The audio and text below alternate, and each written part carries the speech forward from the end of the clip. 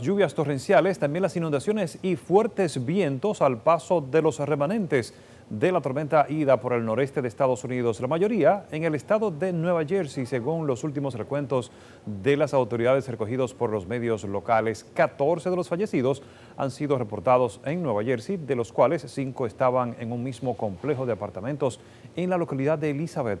Otras nueve víctimas se han registrado en Nueva York, sobre todo en los barrios de Queens y Brooklyn, incluido un niño de dos años. Miles de personas han tenido que ser evacuados de zonas de Nueva York, Nueva Jersey y Connecticut debido a las inundaciones que los restos del huracán Ida ha dejado en esa zona de Estados Unidos.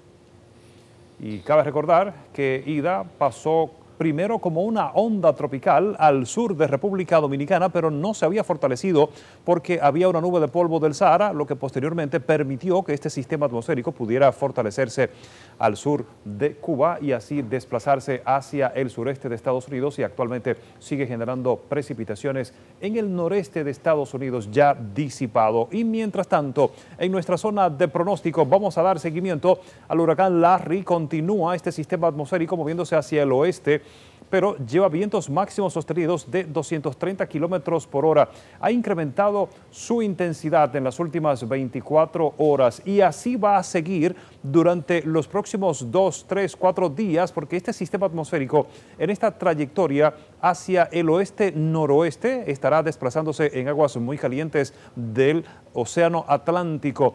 Para mañana se espera que este fenómeno atmosférico pueda alcanzar la categoría 3 sería un huracán intenso. Durante el fin de semana podría seguir intensificándose hasta ser un huracán categoría 4 y será entre el martes y el miércoles cuando pueda ubicarse al noreste de la región del Caribe, aproximadamente a unos 1.400 kilómetros al noreste de Punta Cana. Estaría desarrollando una trayectoria sobre el Océano Atlántico y por el momento los modelos de pronóstico no prevén impacto en la región del Caribe, tampoco en República Dominicana.